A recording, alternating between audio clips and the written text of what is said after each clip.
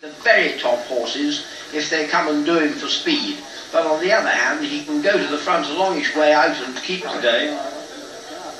In the red colour, your white sash is Michael Hills riding Glacial Storm. And John, early on last season, this horse looked like being one of the best of his age. Yes, he ran much better than Unfuwain in the Derby, but uh, then later on in the season, Unfuwain twice finished in front of him in farm in the important all-age races, the King George VI, and Unfuwain was second to Toto, and then in the Arc de Triomphe. And after that, Glacial Storm failed badly at Newbury.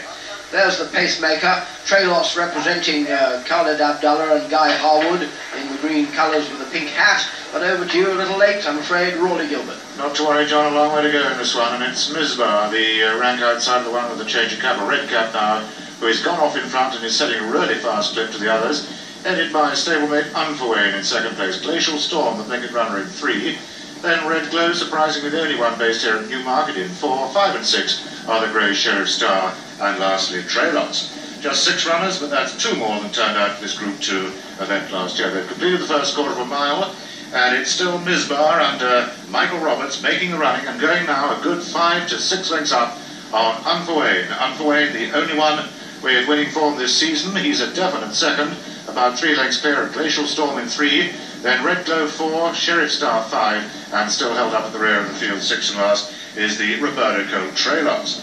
They've got a mile to go now, and Mizmar is extending his lead now. He's a good eight lengths up, if not more, over Unfuwain and Willie Carson in second. Willie now looking for a double for both himself and Dick Hern after the success of Prince of Darth. They're inside the final seven now, and it's still Misbah, who's certainly not stopping, setting this very fast pace for Unfuwain. Then Red Glow going up now to take third off Glacial Storm.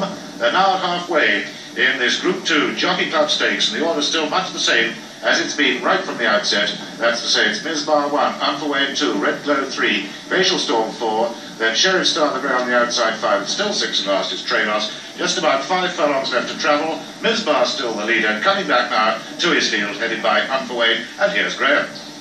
But he's done a good job as Misbah. The pace has been good throughout, and the sound one certainly suit Unfuwain with on the outside Red Glow coming with a run and the grey horse and Sheriff Star in behind them Trailos and Glacial Storm and they race down past the three and Unfuwain Willie Carson commits and goes but Sheriff Star on the outside of Red Glow within behind them Glacial Storm and Trailos and the red cap Misbah uh, drops away as they race down past the two and Unfuwain has it by a couple of lengths Glacial Storm in the red colours gives chase.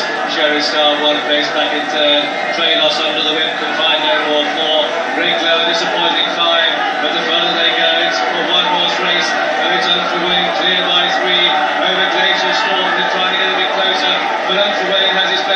and up the Unfuwain wins it well. Glacial Storm second, Trailos is third, Sheriff Star dropped away four, Red Glow five, and Misbah in sixth and last place, but uh, the horse should know somehow that he's done his job well because he set the race up for Unfuwain and Unfuwain has won in the colours of Hampden Ahmad 2 trained at West Ilsley by Major Dick Hern.